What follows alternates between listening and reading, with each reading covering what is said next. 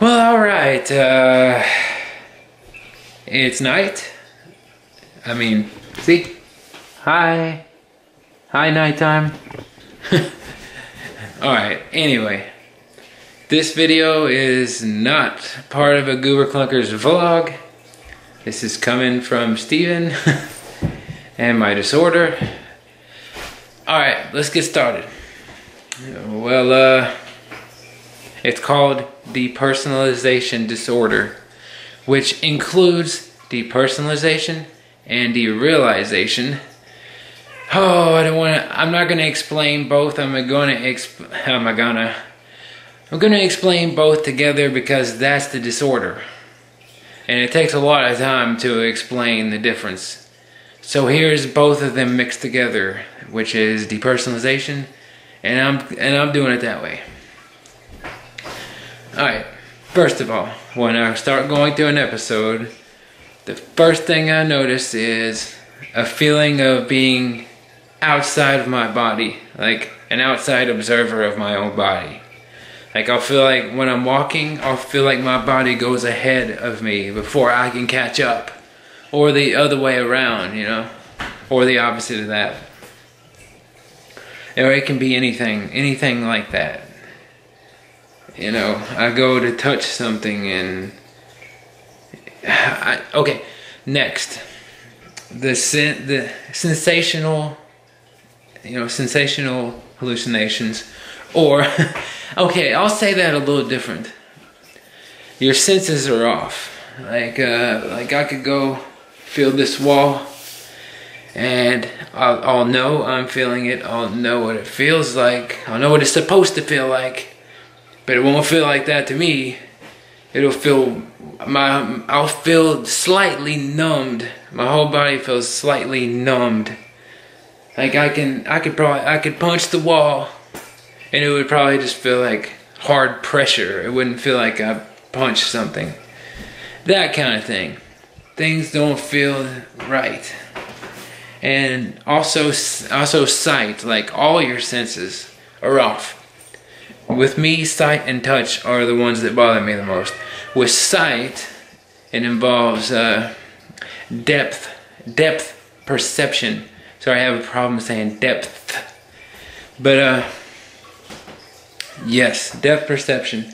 It, it, it can become so bad that uh, things will look 2D. Sorry, I'm not looking at the camera much. i I'm gonna start doing that now. Things start to appear 2D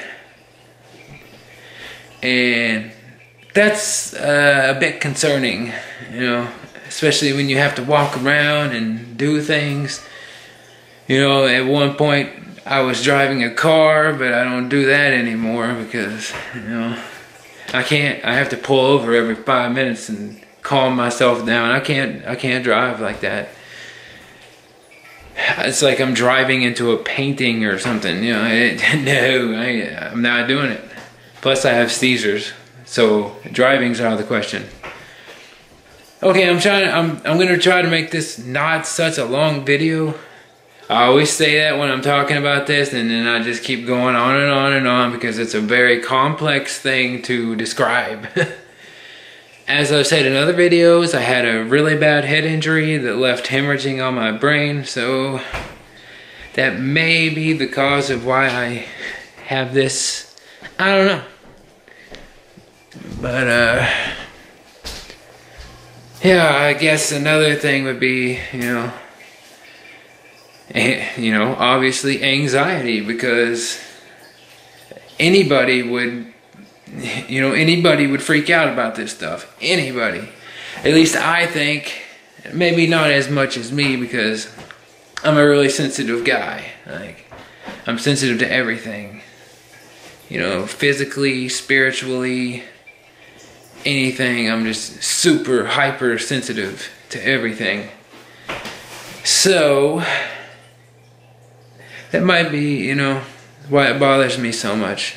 Is, you know, I go by senses. And when they're not there completely, I feel out of control. And it's not a good thing at all. I, I, I start losing it. I, I start, I, I jump, I jump around, I start pacing, I get on the floor, I do all the weirdest things and somebody that just met me and they came in my house and I was doing that, they would probably leave in fear. I don't know. I don't know what would happen if somebody didn't know me and they just came in and I was having an episode. They would, you know, I've been diagnosed with schizophrenia so many times it's ridiculous when obviously I don't. Uh, come on, I'm talking to a camera. maybe I am. Maybe I am schizophrenic. No, I'm not schizophrenic. What? Me too. I say I'm not schizophrenic as I'm talking to a camera. but yeah.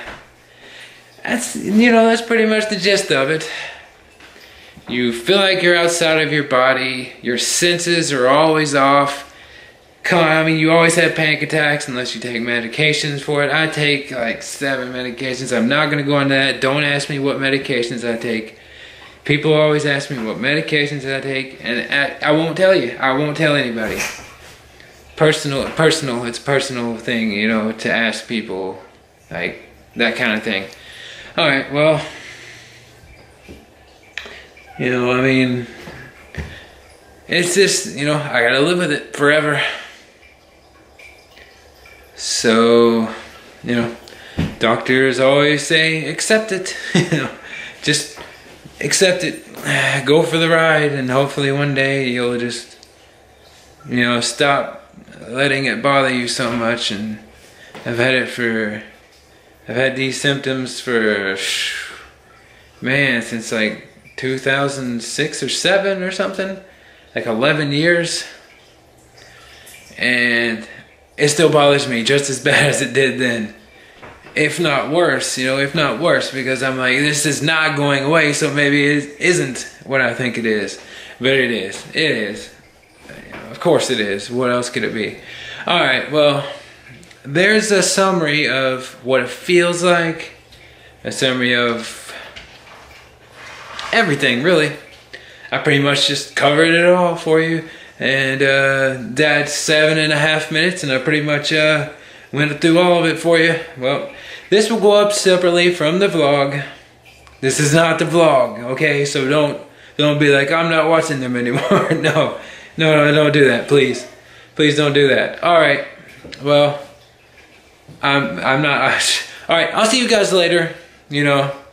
Even though it's not a vlog, clunk everything, please, we appreciate it. All right. Bye.